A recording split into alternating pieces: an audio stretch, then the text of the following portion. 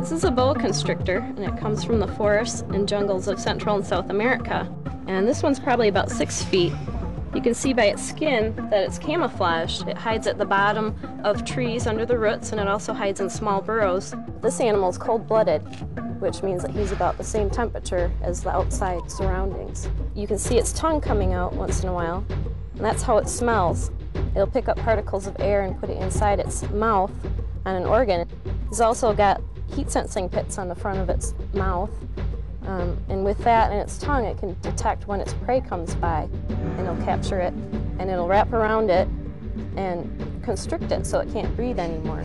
How big do they usually get? They can get up to 20 feet. Would they ever go back after people? Um, if they were frightened, they might strike at you, but they wouldn't ever try to eat you. We're much too big for them. You can see that they don't have eyelids. Um, snakes have scales over their eyes, and so when they shed, they shed the scales over their eyes as well. And you can also see that his eyes match the camouflage on his face to keep him hidden. A lot of people are afraid of snakes because they think they're slimy. They look shiny, kind of like fish, and they have scales. But if you feel it, it feels kind of like a basketball. Can we touch him? Yes, you can.